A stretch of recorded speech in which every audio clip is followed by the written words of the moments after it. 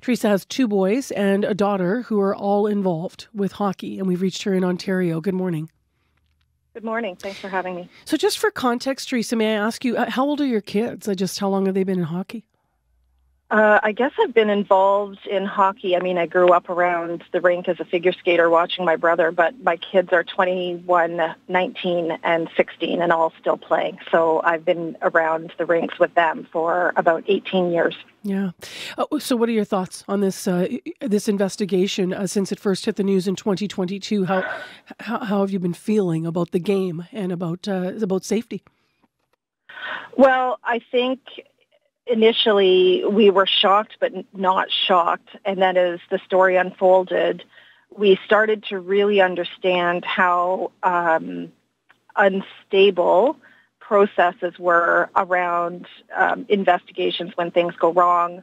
And I think it points to what we can all feel because if you don't have, if, uh, if Hockey Canada is supposed to be the gold standard, and people would argue with me about that now, certainly. But if they're the gold standard and their players are the gold standard, and if they're not upholding values that we see, that we believe should be associated with a game that we see as uh, traditionally our game, then how is it supposed to be upheld anywhere else? I think that that's a big part of how it all seems to fall apart.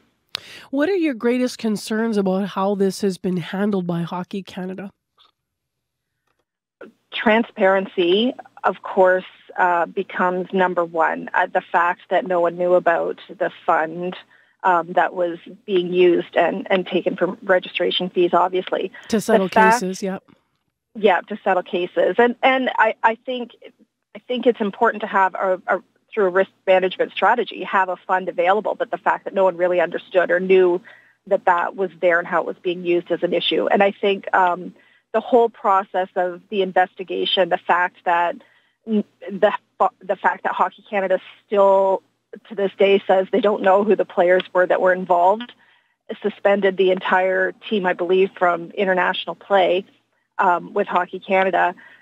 That is not how it would fall out at a local level. So I'm not sure how it's okay that it fell out at that level, um, the way the investigation fell out. So how how would um, it have, how would it have fallen out at a local level?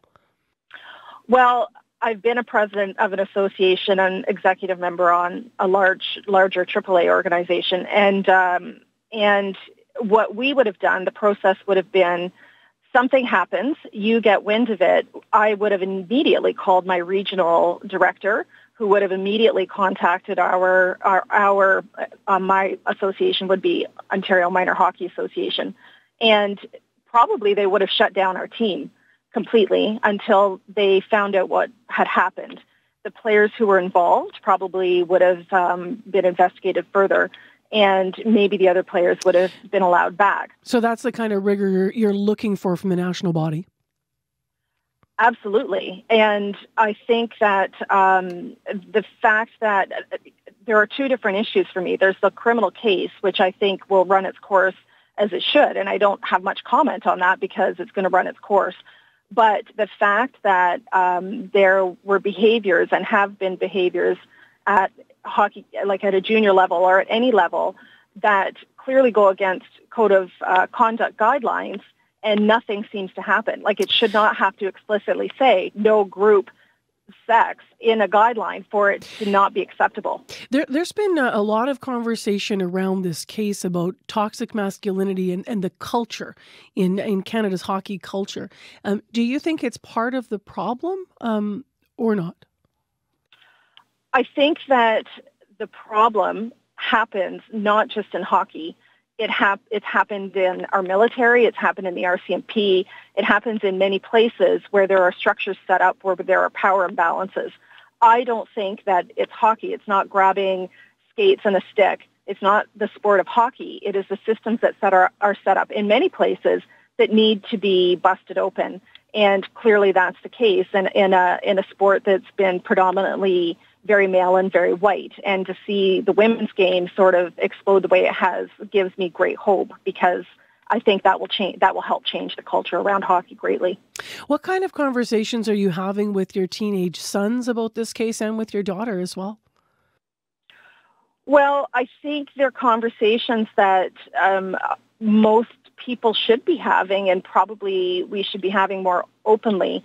It uh, really has been a segue into having conversations about consent and about um, upholding respect for other people and about um, if you are ever in this situation, you know, you need to speak up for the person who is involved. You need to not get involved because there are so many risks. But I mean, we're in a, we have children in a generation who can easily access examples of what allegedly went on quickly and easily on the internet.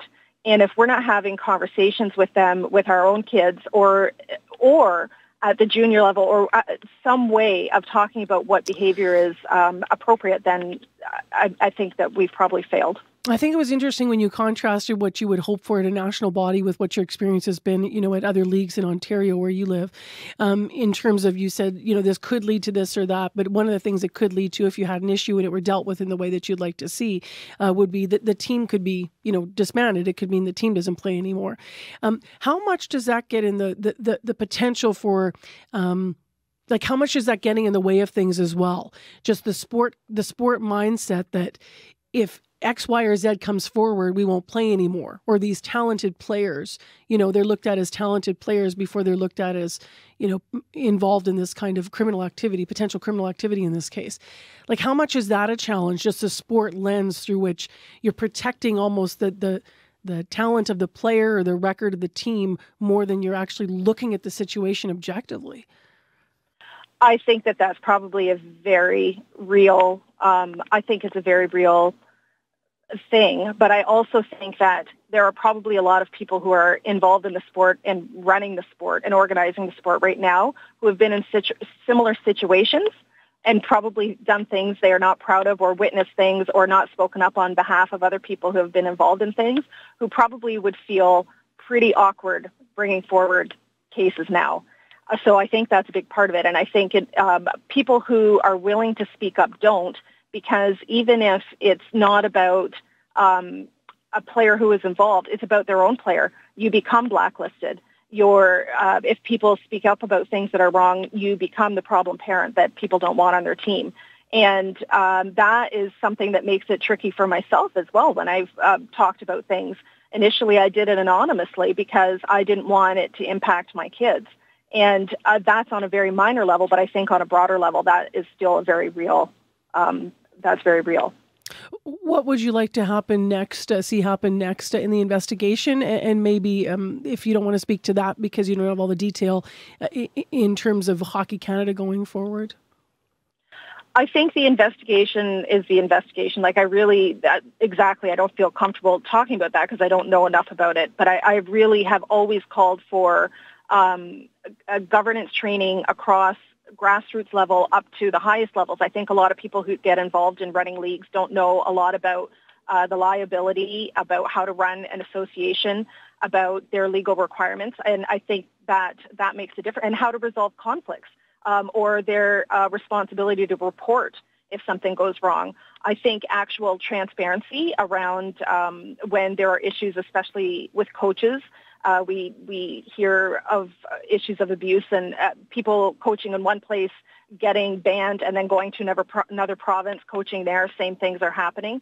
Mm-hmm. I, I, think there needs to be a transparent system, and I think we need to start having some of those um, uncomfortable conversations across the board about what it really means to be a good person, and have character, and the values that we want to uphold in our, our grassroots associations all the way to the highest levels. Thank you for being with us. Appreciate your time. My pleasure. Thank you. Theresa Bailey's founder of Canadian Hockey Moms and co author of the book Hockey Moms, The Heart of the Game. If you're a hockey family, we have many in Manitoba, and you want to weigh in uh, on culture, on uh, toxic culture, on positive culture, on what your hope is for the game that you love, 788 3205.